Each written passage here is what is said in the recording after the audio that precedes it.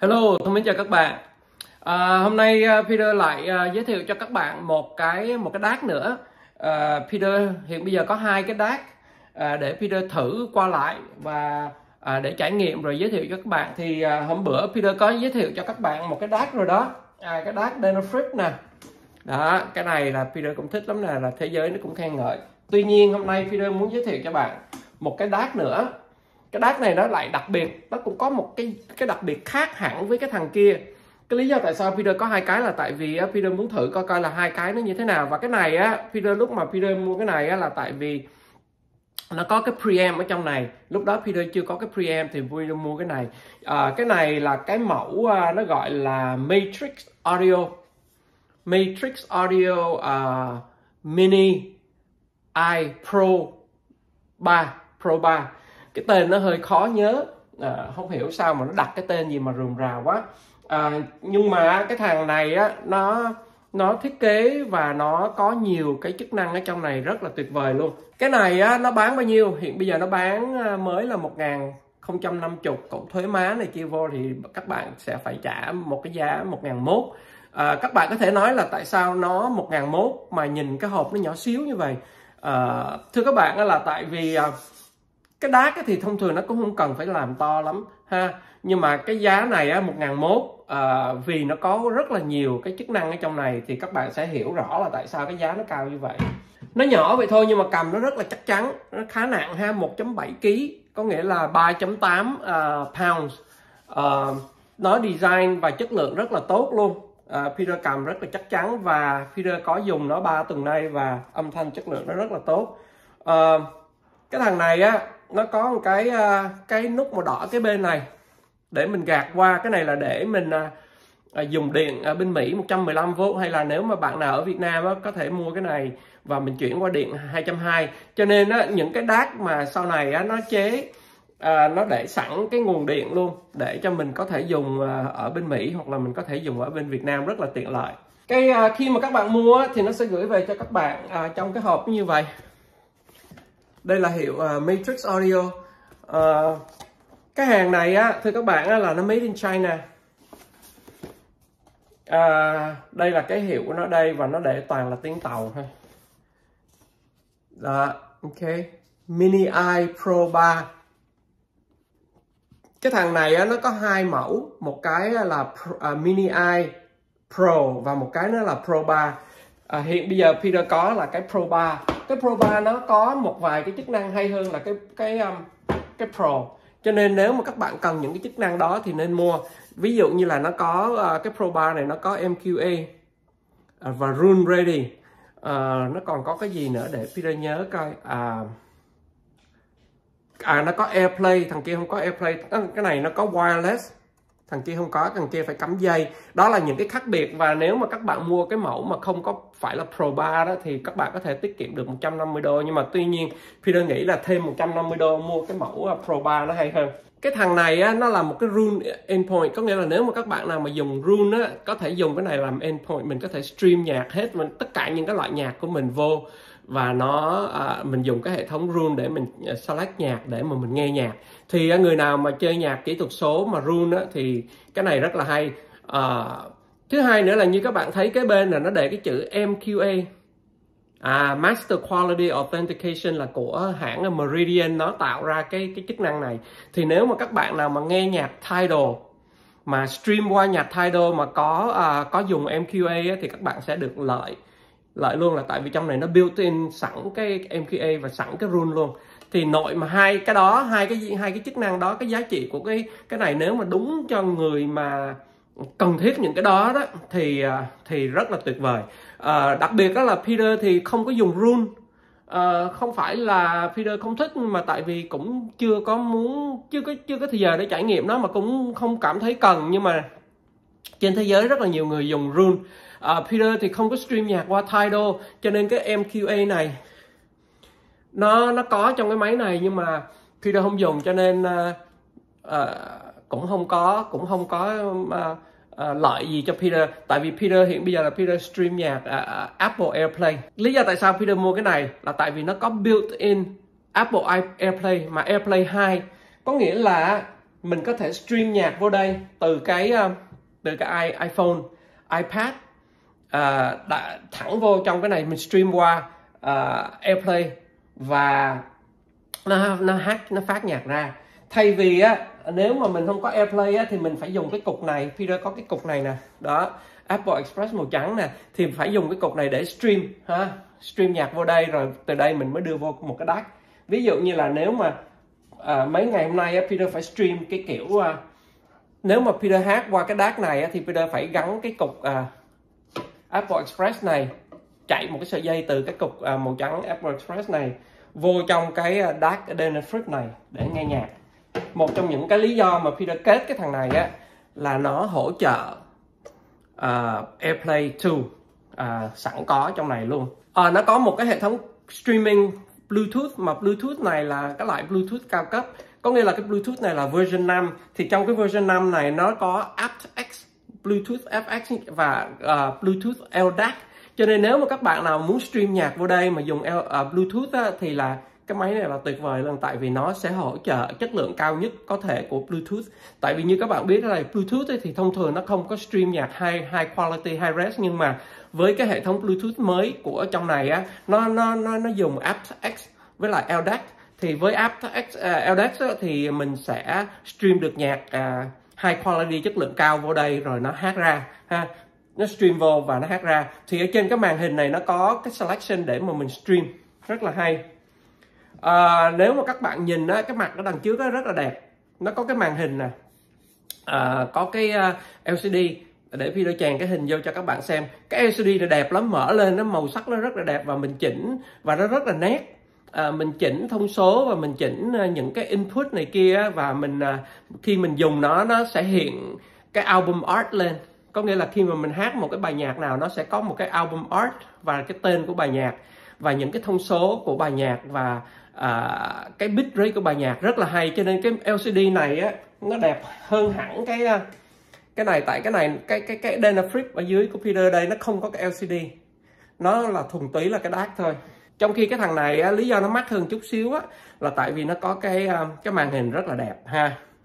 Uh, như các bạn thấy đây bên này nó cũng có hai à, một cái rất là hay là nó có nó hỗ trợ cho mình hai loại headphone luôn loại loại loại cắm lỗ bự và cắm lỗ nhỏ. Và trong này nó có hai cái em mà cái em này á, thì, thì thưa các bạn là Peter cũng có cắm cái headphone của Peter vô rồi nghe rất là hay rất là mạnh rất là khỏe và à, âm thanh rất là trong sạch.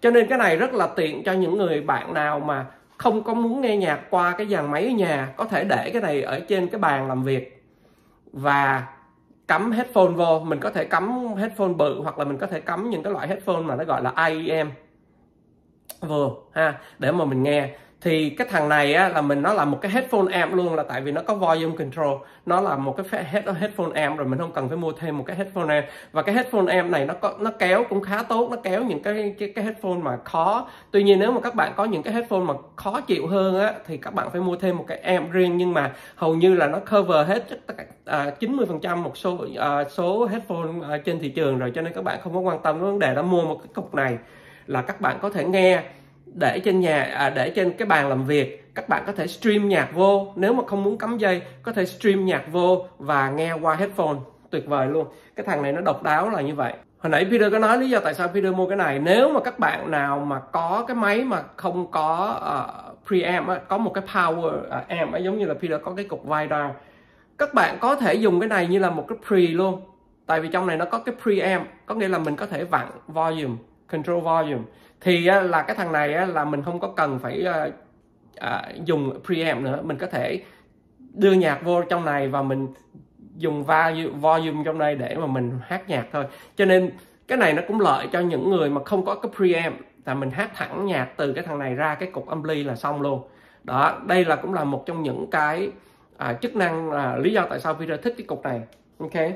À, cái con chip ở trong ờ, cái con chip xử lý uh, giải mã của cái thằng này á là nó dùng là cái con chip khá khá tốt khá mới. Bây giờ cho nên âm thanh chất lượng rất là tốt. À, con chip là ES 9038 à, Q2M Ok, thì nếu mà các bạn uh, research, Peter cũng research thì cái con chip này cũng là là con chip Saber. À, là những cái nhà là những cái con chip mà khá tốt của hãng Saber đó. À, cho nên là Peter đã trải nghiệm và nghe âm thanh. Có thể nói là có nhiều bài á âm thanh của thằng này đánh hay hơn cái thằng Dana Fripp tuy nhiên cũng có nhiều bài cái thằng Dana Fripp đánh hay hơn thằng này. Thì cái này là một cái sự lựa chọn thôi. Đối với Peter là cả hai đều hay nhưng mà cái thằng này nó có rất là nhiều cái chức năng mà thằng Dana Fripp không có. À, và dĩ nhiên là cái giá nó hơi cao một chút xíu. Trước khi ra đằng sau thì như các bạn thấy đây nó có những cái lỗ mà thoát hơi và đây là cái nút để mình chỉnh à, uh, nguồn điện đây là thoát hơi ha. Ở đằng sau á thằng này nó nó cũng là nó design một cái loại cũng cao cấp nó có cổng ra balance à, uh, XLR ha. Đó thì cái này á mình có thể chạy cái dây balance xuống cái cái cục âm ly của mình. Nếu mà âm ly mình nó, nó nhận balance thì mình chơi cái kiểu đó thì âm thanh nó nó hay ha. Mình chạy thẳng xuống và mình dùng nó là preamp luôn khỏi cần phải uh, qua một cái âm ly nữa một cái preamp nữa cái cục đây là các bạn thấy là nó là cái wireless nè. Này cục antenna wireless để mà mình à, kết nối cái này vô trong uh, mạng internet ở nhà mình ha? Nếu mà các bạn mà ở nhà mà mạng yếu thì các bạn có thể dùng dây. Tuy nhiên cái này là cái này là dual band là 2 2 GHz và 5 GHz ở nhà. PDPD kết nối vô wireless thì chạy rất là mạnh luôn. Chưa chưa có vị vấn đề gì hết. Peter stream nhạc xuống hoàn toàn thoải mái. Khi mà mình kết nối vô rồi á cái màn hình ở đằng trước á nó có những cái cái cái bar nó nó nó cho mình biết là cái signal mạnh hay yếu ha. Thì thông thường Peter kết nối wireless vô là Peter nhìn lên cái bar là Peter thấy tất nó ba nấc bốn nấc luôn coi như là full luôn. Uh, maximum luôn. Thằng này nó cho một cái remote control. Uh, khá chất lượng luôn cầm rất là rất rất là uh, chắc tay. Nó làm bằng uh, solid aluminum luôn và những cái nút này mình sờ là nó quality lắm cho nên cái thằng này nó chế với một cái giá à, mình tưởng là nó cao nhưng mà thật sự nó nó nó nhắm về cái chất lượng ha. Thì à, ở trên cái remote control này á, là mình có thể chỉnh được nhiều thứ lắm. À, có cái nút để mình chỉnh filter nè. Khi mà mình dùng cái đát thì mình có thể chọn những cái filter tùy theo cái cái cái cái, cái chất âm mình thích như thế nào ha. À, slow filter fast filter hình như trong này nó có bốn cái filter lận đó Peter có trải nghiệm rồi nhưng mà Peter có chọn một cái filter mà nó gọi là uh, slow filter linear. Ok đó là Peter chọn. Cái đó là cái mà Peter cảm thấy cái chất âm hay nhất. Ở đây nó có cái nút để mà mình stream mình bấm cái nút này để mình stream nhạc. Và dĩ nhiên là à, nó có hai cái nút để uh, âm âm lượng là lên xuống ha. Nút đỏ này là tắt mở cái uh, cái cái đát này. Thì uh, nói sơ sơ là cái uh, cái ờ, thằng này nó có cái remote control mà khá chất lượng trong khi cái thằng uh, kia thì lại không có. Nó có cái cổng balance out và dĩ nhiên là nó có cái cổng uh, single ended RCA out nè đỏ trắng nè ha. Thì nhạc vô trong này xong rồi mình chạy hai sợi dây này. Mình chạy cái sợi dây đỏ trắng này ra cái uh, âm ly của mình là mình nghe hoặc là mình dùng cái cái cổng này để mình nghe. Cái này nó cũng hay một cái nữa là nó cho mình một cái cổng RCA in có nghĩa là nếu mà các bạn muốn quay dĩa hay là có cái máy ờ, CD hay là cái máy cassette hay là cái gì đó mình có thể vô cái cổng này.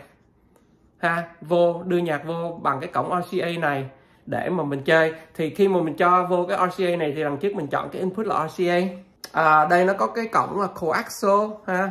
Mình có thể chạy cái CD xuống cái coaxial và đây nó có cái cổng optical. Optical nè đó mình có thể cho nhạc op, uh, à, uh, à, tín hiệu optical vô đây. Ở đây nó có cái nó gọi là IISD nè. Peter thì không có dùng cái này. Đặc biệt cái thằng này nó có cái USB audio là USB-C thay vì cổng USB uh, à, mà mình hay quen thuộc thì cái thằng này nó dùng cái USB-C để coi Peter có cái sợi dây. Thì mấy hôm nay Peter nghe nhạc cắm dây USB-C từ từ cái uh, cái iPad. Peter cắm vô đây và hát ra. Âm thanh tuyệt vời luôn. Ok tại vì ipad mới bây giờ là nó là cổng ờ, usb c thì mình lấy cái dây usb c vô usb c mình cắm vô là mình có thể hát nhạc.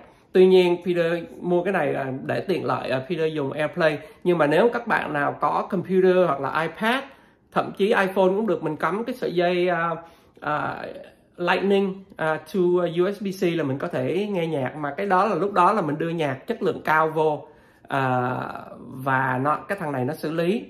Bộ giải mã đây nó xử lý và nó phát ra. Rất là hay luôn. Cái thiết kế của thằng này nó rất là nó nó rất là mới. Ha nó nó nó nó dùng những cái, cái cái công nghệ mới nhất hiện nay để mà làm ra cái hộp này.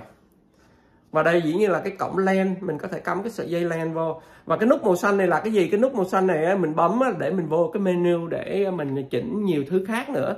À, những cái tinh chỉnh mà mình à, muốn làm cho cái máy này thì mình không có bấm ở đằng trước mà mình bấm cái nút đằng sau này nó cho mình vô cái menu rồi lúc đó mình dùng cái nút đằng trước này để mình à, chọn, để mình chỉnh thông số cho nên và dĩ nhiên là ở bên này chỗ cắm nguồn điện, ở đây nó có cái mẫu nó gọi là high res à. Đó. cái mẫu này, thưa các bạn á, nó nhỏ, tuy nó nhỏ nhưng mà thật sự nó rất là có vỏ Peter nghe nó à, với lại uh, ba người hai người bạn à, cách đây khoảng chừng 2 tuần à, trải nghiệm à, khoảng chừng 6 tiếng nghe nhạc. Thì á hầu như á ba anh em á so sánh giữa hai cái cái trên và cái dưới. À, ba anh em á hầu như là chọn cái thằng này 80 phần trăm luôn 70 phần trăm. Nếu mà nói về chất âm chất lượng lý do để phi phải giải thích. Nó là hai cái thiết kế khác nhau cái thằng à, cái thằng này nó dùng à, cái thiết kế mà à, uh, DS ha. Còn cái thằng ở dưới là nó dùng cái thiết kế mà R2R DAC nếu các bạn nào chưa có coi cái video mà Peter giới thiệu về cái Dana Flip thì các bạn có thể coi trong cái channel của Peter. Thằng này á, nó là cái thiết kế uh, nó dùng uh, những con chip thì nãy Peter có nói rồi nó dùng cái con chip ES Saver để mà uh, giải mã. Những cái đặc điểm của thằng này là như thế nào? Cái thằng này nó có bốn cái filter để mà mình có thể chọn à, để mà mình à, nghe theo cái ý thích của mình ha. Nó dùng cái femto clock à, cũng khá khá mới. Nó gọi là crystal femto clock. À cái khác biệt giữa cái thằng này với lại cái thằng pro á à, à, cái thằng à, thằng em của thằng này bình thường á là cái thằng em nó có dùng cái loại uh, clock khác còn thằng này nó dùng cái loại clock uh, crystal uh, crystal tech uh, femto clock nó chất lượng hơn và nó nó nó hay hơn thì á, lý do tại sao cái thằng này nó mắc hơn.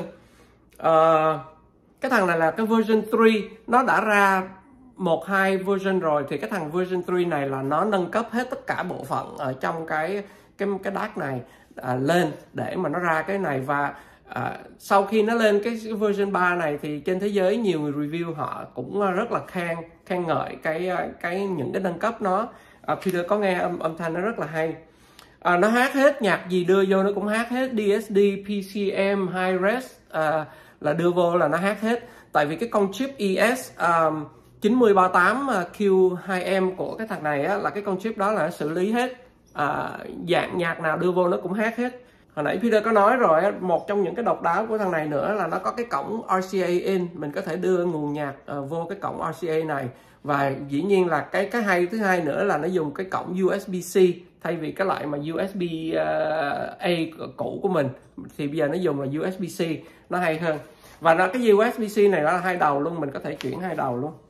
Peter muốn nhắc lại một cái hay của nó nữa là thằng này nó là một cái preamp luôn rồi. Có nghĩa là mình dùng nó để mình mình select uh, âm thanh. Tuy nhiên nếu mà các bạn chơi cái nhạc này một qua cái à, cái uh, cái preamp ví dụ như Peter có cái preamp uh, uh, Freya thì khi mà mình chơi cái này vô trong cái cái Freya free uh, shit uh, Freya đó thì uh, mình vô trong cái menu này mình chuyển cái thằng này qua fix.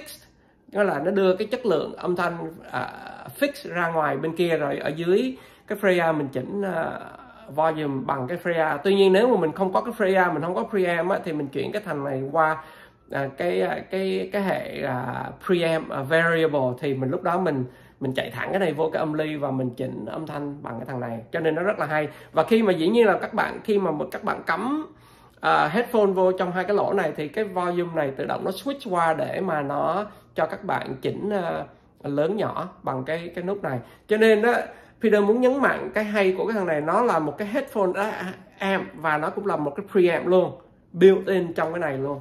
À, rất tiếc là Peter không có mở cái thằng này ra cho các bạn coi cái bộ phận ở bên trong được. Tại vì cái cách mở cái thằng này ra Peter thấy nó cũng ờ, không có được uh, rõ ràng lắm. Vì Peter cũng không muốn hư cái máy để mở ra ha. Cho nên uh, để Peter uh, tìm cái hình ở trên mạng để Peter cho các bạn coi cái phần uh, ruột của cái cái cái cái này ha? Để Peter sẽ bỏ một số hình vô cho các bạn xem cái ruột của nó. Nói chung ra là Peter rất là thích cái này đó.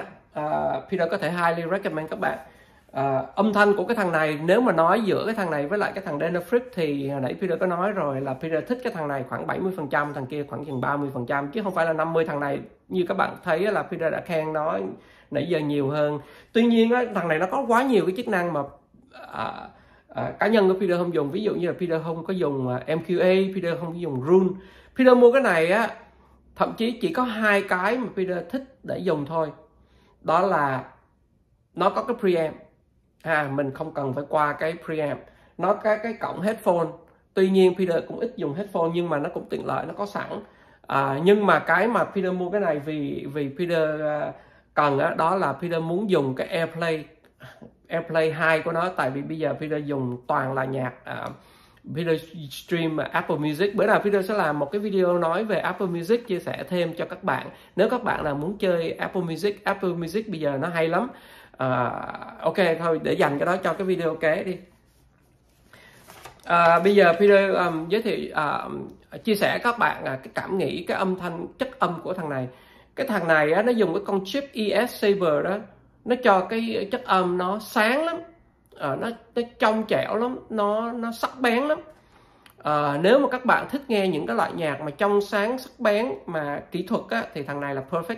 Nó perfect hơn là cái thằng Saber. Nếu mà nếu mà à, à, perfect hơn là cái thằng Denafric cái âm thanh của thằng này nó nó nó nó nó bay nó bay hơn và nghe nó dynamic hơn là tại vì à, nó là cái kỹ thuật à, dùng cái con chip ES Saber tiếng guitar với lại những cái tiếng mà sắc bén á, nó rõ rệt hơn một chút xíu. À, cái mid range là cái tiếng vocal của nó cũng rất là truyền cảm. Nó không có bị à, à, dính cục. Khi mà mình nghe nhạc á, nó tách bạch nó nó nó nó, nó transparent nó rõ. À, cái giải à, cái giải thích của Peter là như vậy là để cho các bạn dễ hình dung ra. Ví dụ như là bây giờ mình đang à, à, à, đeo cái mắt kính đi hoặc là mình đang lái xe mình đang à, nhìn ngoài đường. Tự nhiên cái mình bật cái đồ gạt cái cái cái cái cái kiến lên mình xịt một chút chút nước lên là tự nhiên nó sáng trong ra. Đó cái thằng này nó như vậy. Tự nhiên cái nhạc mình nó nó trong vắt ra. À, cái cái mắt kiến mình đang đeo mình lấy xuống mình mình chùi chùi mình lau mình rửa tự nhiên nó sáng ra cái con mắt mình nhìn rõ hơn. Cái đó là cái giải thích mà Peter có thể giải thích để cho các bạn có thể hiểu cái ý của Peter hơn là nếu mà các bạn hát nhạc qua cái thằng đát này á nó không có đục nó không có nó không có nó không có nó không có đen nó không có nó không có trầm. Mà cái thằng này á là nhạc vô là nó trong sáng lắm nó tuy nhiên cũng có nhiều người không có muốn cái ờ, âm thanh mà nó quá sắc bén như vậy nó quá trong sáng như vậy. Cái này là cái cái cái tùy cái sở thích của mỗi người thôi. Cá nhân của Peter á, là Peter thích cái ở chất âm trong sáng tại vì Peter nghe nhạc lúc nào Peter cũng thích nghe cái phần kỹ thuật ở trên cao. Peter thích cái cái treble nó nó sáng cái cái chất âm nó dynamic nó rộng. Thì cái thằng này rất là hợp với cái lỗ tai của Peter luôn. Nghe nó rất là sắc bén. À, nghe những cái bài mà guitar khẩy khẩy khẩy hoặc là những cái cái cái tiếng guitar nó búng búng á. À, nghe nó, nó, nó nhức nhối lắm đã lắm. Nghe nó à, sung sướng cái lỗ tai lắm ha cái ờ, cái sân khấu cái cái sound stage của cái thằng này cũng rất là to rất là rộng. Tại vì nó dynamic và nó sắc bén. Khi mà mình hát đúng cái bài nhạc của nó là các bạn nghe uh, rất là đã luôn. Tại uh, tại vì uh, cái um, cái cái cái ES uh, Saber chip của thằng này uh, nó cho một cái không gian không uh, một cái sân khấu rất là tốt. Dĩ nhiên là nó cũng phải uh, quan trọng với lại cái dàn nhạc của, của các bạn nữa và quan trọng với lại cái loa của các bạn nữa ha. Chứ chứ không phải là cái đàn này gắn vô dàn nhạc nào cũng hay đâu. Bây giờ không có nói như vậy à, cái nàng này vì hiện bây giờ nó rất là hợp với lại cái dàn nhạc của Peter ở nhà. À, đánh qua cái snail cũng hay đánh qua cái à, harvest ở bên kia cũng hay đánh qua cái snail nhỏ cũng hay và tuần vừa rồi Peter mua cái Sony đánh vô cái thằng này cũng hay. Rất là hay luôn lý do là tại vì cái thằng Sony á nó rất là kỹ thuật và nó cái cái cái cái cái cái nó là cái loại uh, loa mà loa không có lỗ thoát á và cho nên nó nó cái cái cái cái, cái chất âm của nó dày và nó đặc. Và kết hợp với cái thằng này vì cái thằng này nó là chất âm bán thì á nó là, là hoàn hảo luôn. À, là một cái cặp đôi hoàn hảo của thằng này đánh với lại cái thằng Sony rất là hay. À, cái thằng này nó musicality lắm mình nghe mình thoải mái lắm không có bị mệt. Có nghĩa là cái nhạc tính của nó rất là tốt. Mình nghe lâu mình nghe à, một hai tiếng đồng hồ mình không có mệt mình không có bị khó chịu trong người nó lôi cuốn mình nó nhẹ nhàng nó đánh nhạc nó bay bổng nó không có quá kỹ thuật. Tuy nhiên nó nó kỹ thuật của nó sắc bén và truyền cảm nhưng mà không có quá làm cho mình nghe mà mệt mỏi cái lỗ tai nữa không? Đó. Peter có test cái headphone và nếu mà người nào mà thích nghe mà headphone nó IEM mà những cái loại lỗ tai à, những cái loại mà headphone mà IEM thì cái thằng này khỏi chê luôn. Uh, cái âm ly headphone của nó nghe rất đã lắm. Thời buổi nay mình không có cần phải mua rườm rà những cái dàn mà headphone vừa em vừa đát vừa này kia chồng chồng chồng lên nhau rồi mình phải câu cái dây vô nhau không cần. Bây giờ thời buổi này các bạn đầu tư một lần thôi bỏ ra tiền các bạn có thể dùng cái này cho nhiều việc. Gắn vô cái hệ thống ở nhà à, cắm thẳng vô âm ly. Mình cắm à, muốn nghe headphone thì cắm headphone vô nghe. Cho nên cái thằng này giờ tuyệt vời cái phần à, uh, treble Peter cũng nhấn mạnh là cái thằng này cái treble đó nó nó rõ lắm và nó nó sắc bén lắm nó dynamic lắm. Nhưng mà cũng đừng có quên là cái phần mà đầm của nó đó cái phần mà tiếng bass của nó chắc lắm. Nó cũng cho tiếng bass rất là đầm. Nếu mà mình đánh vô cái loa mà mà có tiếng bass mạnh nó ví dụ như cái snail này của Peter nè nó có hai cái hai cái uh, subwoofer 12 inch lận. Cho nên nó đánh cái tiếng nó nó nó cái cái cái đát này nó đánh ra cái tiếng bass rất là chắc rất là tròn và rất là sâu à, cái tiếng bass của mình nó lúc nào mình cũng cần phải có nó nó sâu nó xuống sâu. Và cái cái tiếng bass của mình nó đầm nó đầm nhưng mà nó chắc chứ đừng có lùng bùng. Ví dụ mình đừng có đánh mà nó bùm bùm bùm bùm bùm mà kiểu mà vỡ âm thanh như vậy thì ờ, không hay. Thì cái thằng này nó cho cái tiếng bass rất là chắc luôn. Mà Peter bất ngờ lúc mà cái thằng này đánh qua cái thằng Harbeth á cái thằng Harbeth uh, ờ, của Peter PS PSR của Peter đó nó, nó nhỏ xíu à hồi xưa giờ kéo lúc nào cũng không có ra tiếng bass ấy, nhưng mà cái thằng này đánh cái thằng Harbeth nó ra cái tiếng bass nghe hôm bữa ba anh em nghe nói ồ giật mình luôn nó ồ sao tiếng bass nghe đã quá. Chợ, trong khi cái thằng Harbeth nó nhỏ xíu như vậy cho nên cái bộ giải mã của thằng này rất là hay. Nó giải mã cái cái cái tiếng bass cũng rất là hay cái tiếng mid range cũng rất là hay và cái tiếng treble cái cái tiếng ở trên nó rất là hay. Trong vắt à, và rất là sắc bén nếu mà các bạn một lần nữa thích thích nghe loại nhạc mà sắc bén mà kỹ thuật á, thì cái thằng này tuyệt vời. Nói chung ra là Peter cảm thấy cái giá 1050 cho cái thằng này. Đáng giá nếu nếu mà các bạn nào mà cần hết tất cả những cái mà mà Peter mới nói hồi nãy ví dụ như là MQA rule rồi headphone rồi uh, preamp rồi cổng vô là RCA rồi AirPlay AirPlay 2 à, uh, USB-C uh, à, wireless đây nó wireless luôn. Đó, nếu mà các bạn thích có những cái mà Peter mới chia sẻ là cộng với lại cái màn hình à, LCD này, cộng với lại cái à, remote control nó cho mình, và nghe những cái chia sẻ mà những cái mà nó có trong cái này thì đối đối với Peter Peter thấy cái giá này là rất là hợp lý. Không những hợp lý, nhưng mà cái âm thanh nó rất là hay luôn. Không có chê được cái cái thằng này à, tuy là nó made in China mình đừng có coi thường những cái hàng nó made in China. Thời buổi này made in China à, những cái công ty made in China bây giờ nó vô trong cái lĩnh vực à, audio pha và nó bắt đầu nó chiếm chiếm chiếm đất chiếm sân. À, và nó cho những cái món đồ mà rất là chất lượng và giá dĩ nhiên là thấp. Có thể là nếu mà cái này mà vô trong những cái công ty mà của nước ngoài mà có tiếng á, thì Peter nghĩ nó không bán một ngàn đâu. Nếu mà vô ví dụ như là À, uh, NAD hoặc là những cái hãng lớn khác á, hoặc là Cambridge hay là những cái gì mà nó có những cái chất lượng như vậy á và nó có nhiều cái function feature như vậy á, thì Peter nghĩ cái máy này nó có thể phải ngàn ngàn rưỡi cho tới ngàn tám. Trong khi cái thằng này nó bán một ngàn năm chục. Thằng này nó hay cái là nó cho rule với MQA ready trong này luôn. Có nghĩa là Peter à, các bạn khỏi cần phải cài đặt cái gì hết. Nó đã built in ở trong cái cái firmware ở trong này rồi à, có một cái mà Peter à, thấy cái thằng này á ước gì á Peter thích cái Peter thích cái mẫu của cái thằng Dynafruit này. Như các bạn thấy nè. Nó khác cái gì? Cái thằng Dynafruit này nó làm cái chân cao lên cho nên lúc mà mình để cái này á đứng á, nó rất là đẹp. Peter ước gì cái thằng này nó design á cho cái chân nó cao lên một chút xíu thì để nó nhìn nó đẹp hơn. Ha? Tuy nhiên nếu mà các bạn muốn thì các bạn có thể mua bốn cái cái chân để đè lên để lên cho nó đẹp. À, trang trí tại vì à, cái dàn nhạc nhà mình nếu mà mình trang trí thì nó cũng đẹp. Tuy nhiên cái thằng này nó nằm sát cái dưới cái bàn luôn. Ok nó cũng có cái hay của nó nhưng mà Peter ước gì cái chân nó cao lên được như cái thằng này. Thì là tuyệt vời luôn. Như các bạn thấy là hai cái đát này của Peter có một sự khác biệt rõ rệt. Cái thằng này thì không có thằng này thì không có remote nè thằng này thì có remote thằng này không có màn hình thằng này có màn hình thằng này không có MQA không có rule không có khỉ gì hết. Nó chỉ là một cái đát thôi. Hoàn toàn một trăm phần trăm là cái đát thằng này nó có rất là nhiều cái hay hơn. Dĩ nhiên là cái thằng này mắc hơn cái thằng này. À, ok. À, cái video này tới đây à, chấm dứt. À, hy vọng các bạn à, à, hiểu được à, một số vấn đề mới về những cái đát đây là hai cái đát mà Peter có thời buổi này những cái đát đó nghe rất là hay rất là độc đáo so với lại những cái đát mà Peter có khoảng chừng 8 năm trước á, thì nó hơn hẳn mấy cái đát đó mà mấy cái đát hồi xưa á, mấy ngàn đô lận. Mấy cái thằng này bây giờ dưới một ngàn đô mà nghe nứt nhức nhối luôn.